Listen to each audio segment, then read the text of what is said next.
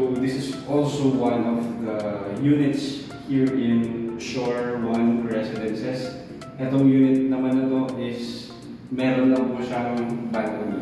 So ito po, let me show you.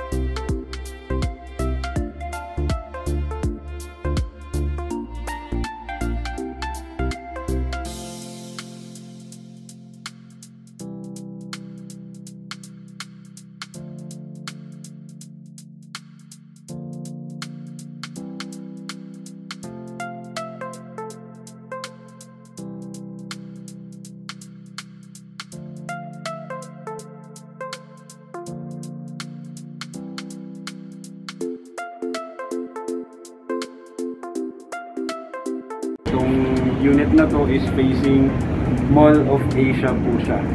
So, nakikita nyo dito yung SM offices. So, there's also Amazon office, mga e-com centers ng SM. Dito makikita nyo sa unit na facing Mall of Asia. Dito naman sa left side, makikita natin yung Mall of Asia and yung IKEA department store. So, ayan siya. Makikita niyo siya from here. So, ito yung kagandahan na uh, unit na may balcony, no? Kasi pwede kayo magpahangin from your unit. Kasi minsan nakaka-board yung nasa ano ka lang, eh, nasa loob ka lang ng unit at walang balcony. So, at least dito may mga masisilayan kang. Ito yung balcony niya, ganito siya kalawak. Pwede ko pang share dito.